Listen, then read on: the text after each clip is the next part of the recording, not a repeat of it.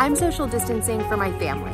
We're going to get through this together. And I'm social distancing for you, DMV. We are all in this together.